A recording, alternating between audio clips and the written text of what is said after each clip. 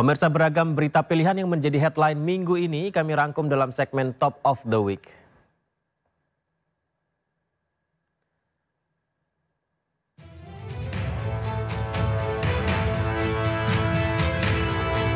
Penanganan dugaan kasus korupsi di wilayah izin usaha pertambangan IUP PT Timah TBK periode 2015-2022 masih terus bergulir. Perkembangan terbaru, penyidik Kejaksaan Agung telah menyerahkan berkas perkara 10 tersangka kepada Jaksa Penuntut Umum di Kejaksaan Negeri Jakarta Selatan. Selain penyerahan berkas, Kejagung juga menyerahkan sejumlah barang bukti seperti dokumen, uang tunai, logam mulia, sertifikat tanah, serta beberapa unit mobil mewah.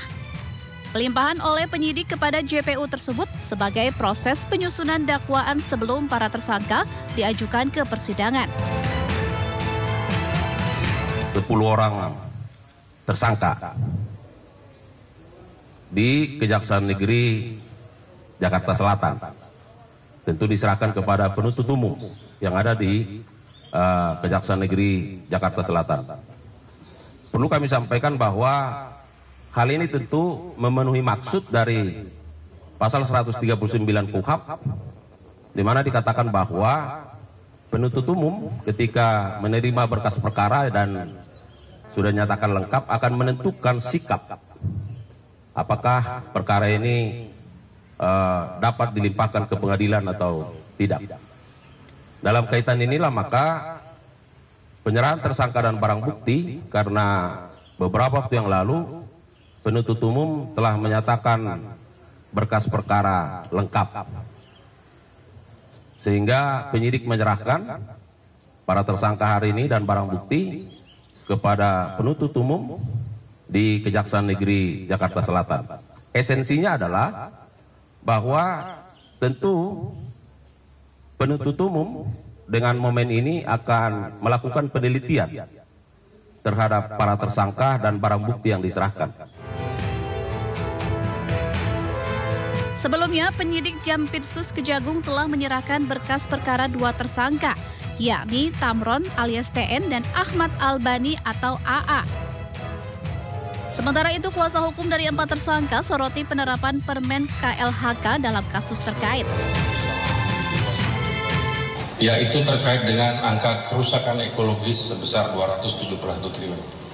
Nah, eh, kami sangat keberatan dengan digunakannya peraturan Menteri Lingkungan Hidup nomor 7 tahun 2014 sebagai dasar di dalam menentukan kerugian real negara.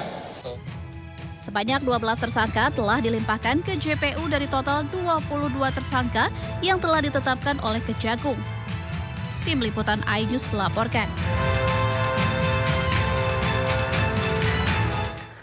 Tim gabungan Reserse Polda Jawa Tengah dan Polresta Pati hingga kini telah menangkap 10 orang tersangka dalam kasus pengeroyokan bos rental mobil yang tewas di masa.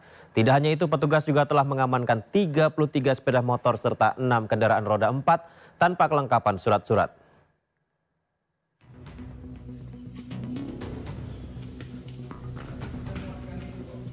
Upaya pengungkapan kasus pengeroyokan yang menyebabkan BH seorang bos rental asal Jakarta yang tewas di masa di Sukolilo Pati, Jawa Tengah masih terus dilakukan dengan membentuk tim gabungan. Dalam upaya penangkapan tersebut, tim gabungan Reserse Polda Jawa Tengah dan Polresta Pati berhasil menangkap 10 orang dengan peran berbeda seperti merampas mobil, menganiaya dengan tangan kosong, memukul menggunakan batu, serta melindas menggunakan motor. Pengejaran terhadap 10 pelaku pengeroyokan tersebut dilakukan tim gabungan setelah menyisir rumah warga serta hutan yang menjadi persembunyian pelaku. Dalam upaya pengungkapan tersebut, tim gabungan mendapati 33 kendaraan roda tanpa surat-surat serta 6 kendaraan roda 4 yang juga tidak memiliki kelengkapan surat kendaraan. Sudah kita rilis bahwa pertama ditangkap tiga orang, kemudian kita tangkap lagi satu orang, dan tadi malam kita tangkap empat orang, subuh tadi dua orang. Jadi jumlahnya semuanya adalah 10 orang yang perannya sudah cukup bukti, ulangi, sudah bukti permulaan cukup bahwa yang bersangkutan adalah terlibat dalam kasus 170. Kapolda Jawa Tengah pun menghimbau bagi pelaku yang ikut melakukan penganiayaan untuk segera menyerahkan diri. Jika dalam satu minggu tidak menyerahkan diri, tim gabungan diperintahkan untuk melakukan tindakan tegas bagi pelaku yang masih bersembunyi. Dari Semarang, Jawa Tengah, Kristadi, iNews melaporkan.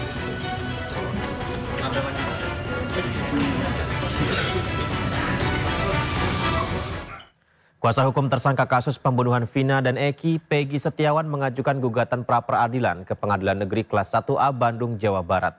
Rencananya sidang perdana pra-peradilan Peggy digelar 24 Juni mendatang.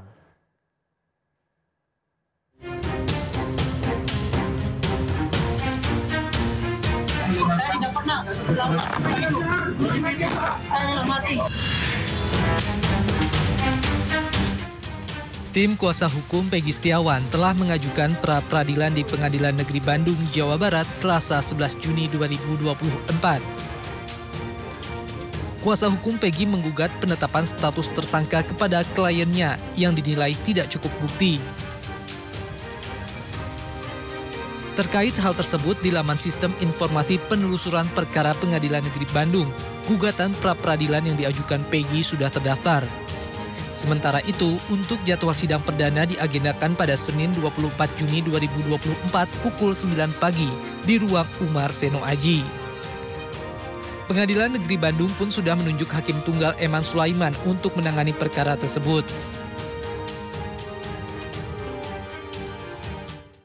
Pemirsa usai buka suara dalam kasus Vina pada 8 tahun silam, tim kuasa hukum saksi Liga Akbar mengajukan permohonan perlindungan saksi ke Lembaga Perlindungan Saksi dan Korban atau LPSK. Hal itu dilakukan untuk melindungi saksi Liga Akbar lantaran khawatir adanya intimidasi dan juga ancaman.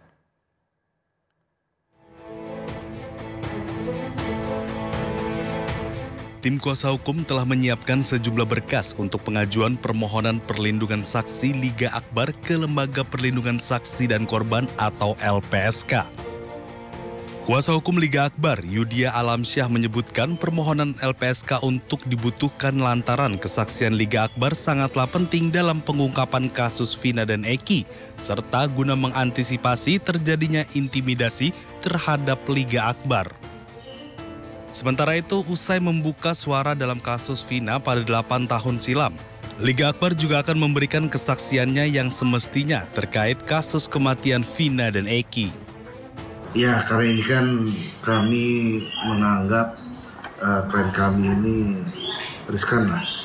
Karena ini kan uh, kami ini Liga Akbar ini uh, merubah ataupun mencabut keterangannya sehingga uh, kami perlu adanya suatu perlindungan di mana bukan hanya perlindungan dari kami selaku kuasa hukum tapi perlindungan juga dari negara sedangkan karena kita harus menghargai ini saksi sudah mau berkata jujur untuk membuka uh, tabir perkara uh, Vina dan Aiki ini. Sebelumnya, 10 orang saksi kasus pembunuhan Vina memohon perlindungan pada LPSK. Namun LPSK perlu waktu untuk mendalami kasus ini agar bisa memberikan perlindungan secara efektif kepada para pemohon.